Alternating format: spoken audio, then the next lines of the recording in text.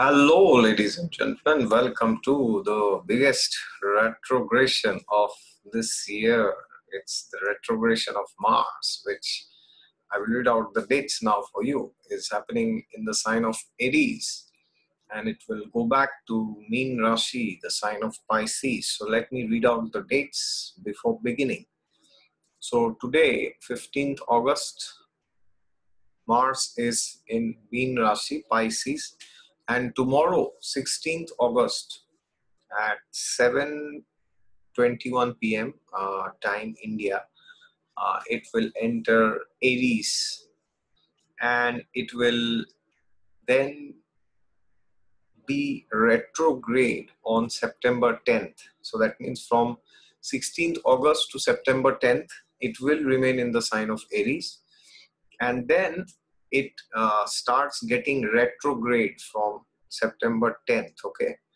And then when it starts getting retrograde on October 4th, it will uh, again enter Pisces, all right? So therefore 16th August to October 4th, which is almost one and a half months, it will remain in Aries and then on 4th October, it reaches and it keeps going retrograde, retrograde, retrograde.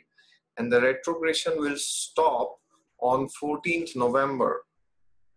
14th November, Mars is stationary and it gets direct, progressive on Saturday, November 14th, 1.34 a.m. So total duration is September 10th to November 14th, which is 66 days. All right, from Aries, it goes back to Pisces, and then it enters Aries again on 24th December. Okay, uh, when it goes direct uh, on November 14th, and then after 40 days, which is December 24th, it enters Aries again. Okay, and then it will stay in Aries till 22nd February next year. All right. So basically, this is from 16th August, September, November, uh, September, October, November, December, January, February. Six freaking months. Six months, one week almost. All right. So this is a very long transit of Mars, and uh, this happens once every two years, and it stays in one sign for almost six months. Okay but now because the degrees are in initial degrees of Aries, so it will reach Pisces back. Okay, just like Jupiter this year had reached back Sagittarius uh, again. Okay, um, uh, it had crossed uh, to Capricorn and then it came back to Sagittarius. Okay, all right. So this is a very important transit. Why? Because Mars is getting back to its own sign See, you have to understand what is Aries. Aries is the sign of creation, actually. Why? Because, see, you have to understand certain things, actually. Uh, who is getting created, actually? See, the soul who is there uh, in the spiritual realm, the soul is very pure, actually. Okay. Uh, the soul has no contamination. The soul is represented by Jupiter. That is why he is known as Jivakarak. Now, this same soul, uh, when comes to this material world, the soul identifies with some things of this material world. That identification is the sun, actually. And how do you identify? You got to have something, right, in this world. So, Jupiter is Sattva Guna, Sun is Rajoguna. Sattva Guna is pure, Rajoguna is filled with desire. Then Tamogun is filled uh, with tamas, Okay. Tamas means anything which gets destroyed very soon in no time. So Mars represents the body. Every anything physical in this world is represented by Mars actually. So Mars represents the body. So Jupiter, which is the pure soul, gets a desire to rule something in this world. And then the ruling is done through this body, which is the first house, Aries. Okay. So whenever Mars or any planet for that sake transits Aries, this same thing happens. There's a desire for creation because the pure soul, uh, which is the Atma, is known as Chit. C H I T, chit. not C H E A T, not cheat, chit. Okay. So therefore, the, the Atma is known as Sat Chit Ananda. Okay, Sat Chit Ananda, full of knowledge, eternity, and bliss. Okay.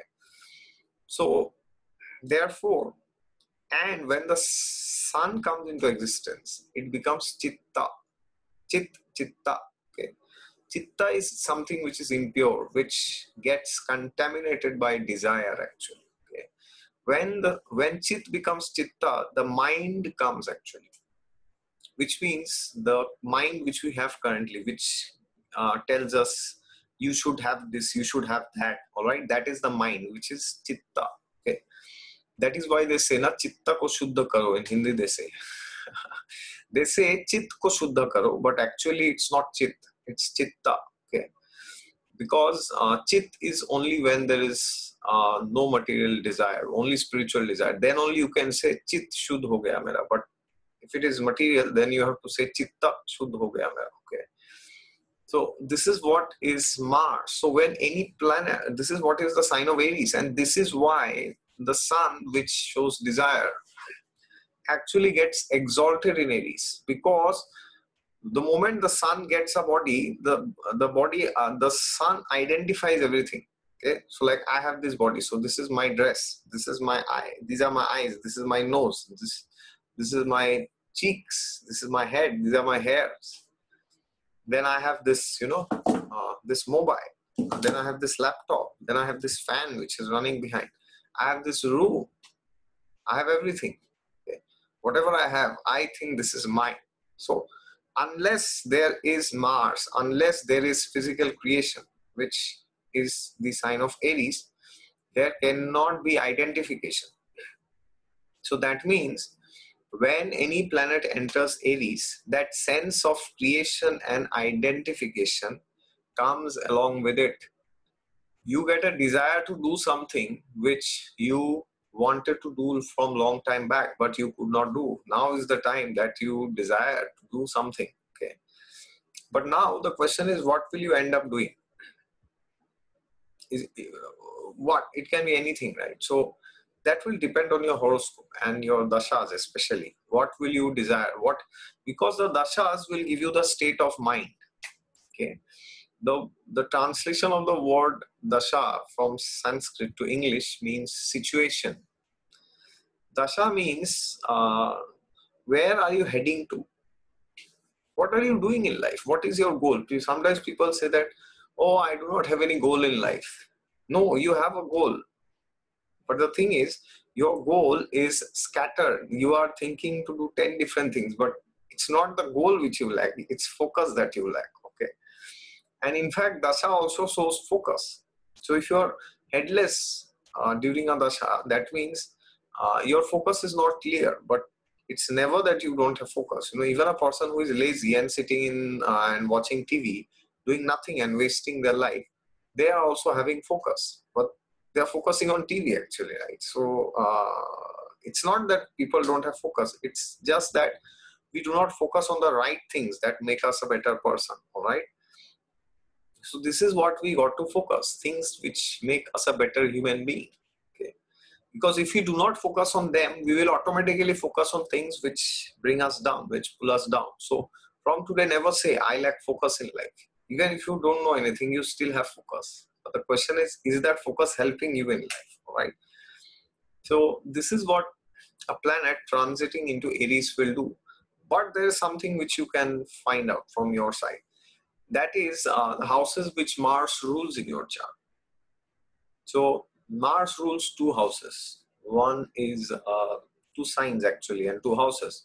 One is Scorpio, and the other one is Aries. Now, Scorpio is the own sign. Aries is also own sign but Aries is a higher octave of Scorpio, which is why it is known as Mool Trikon sign. Mars is much more capable in Aries than he's in Scorpio. And of course, he gets exalted in Capricorn, no doubt about it, and gets debilitated in Cancer. Okay. So now, uh, the thing is, um, you got to understand certain things. So, for example, from uh, now the thing is Mars himself lords Aries and he himself is coming there. Okay. So if you have major planets in Aries, then this transit is going to be very transformatory for you. Okay.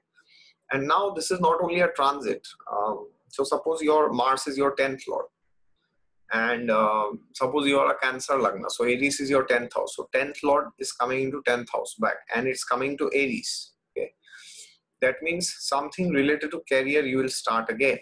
Now if your Mahadasha is of venus and venus is in fifth it can be something related to creativity. If venus is in third it could be youtube. If it is saturn it could be something related to steel oil coal petroleum something like this. So nobody can tell what cancer ascendants will go through because the dasha will decide all right? So therefore uh, and also scorpio okay so wherever scorpio is falling that will also have a very significant importance but aries the lordship of aries will be more prominent okay so um, so in this case of a cancer ascendant mars is the fifth lord and the 10th lord but because Mars is primarily the 10th lord because the Mool Trikon Rashi is in the 10th house. So the activities of the 10th house will be more important than the activities of the 5th house. Okay, but both will have significance. Always remember that. Do not think that one won't have significance. Okay, never think like this. Now the thing is, uh, what is this retrogression? Retrogression means that uh, you do something again or something very prominent, some very prominent desire from the past is coming back actually.